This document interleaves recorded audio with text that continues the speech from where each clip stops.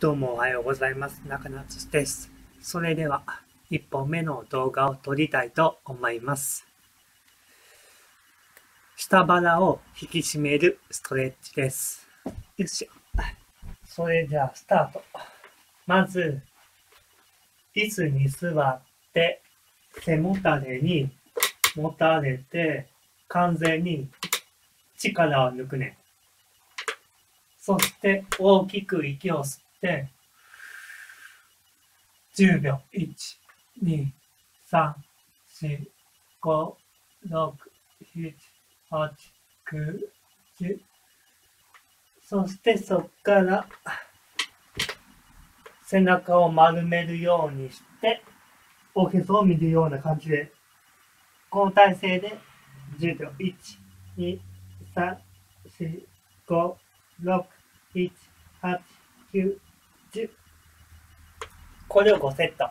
2セット目。背もたれにもたれて、完全に力を抜いて、大きく息を吸って、10秒。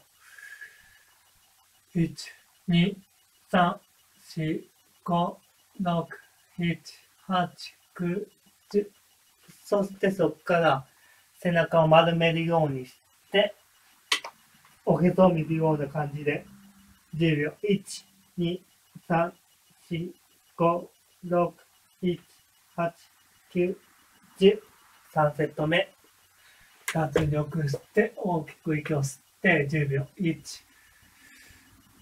1、2、3、4、5、6、7、8、9、10。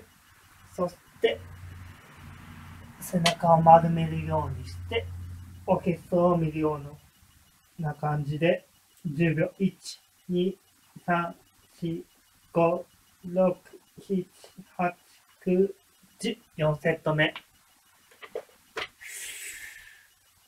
1、2、3、4、5、6、7、8、9、10。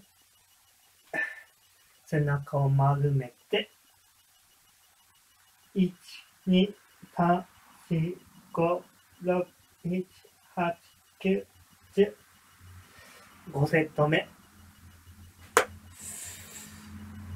1、2、3、4、5、6、7、8、9、10。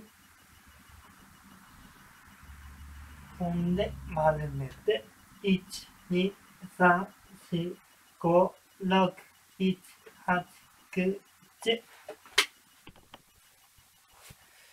それでは、このストレッチは終わります。継続は力なり。良ければチャンネル登録をお願いします。ご視聴いただきありがとうございました。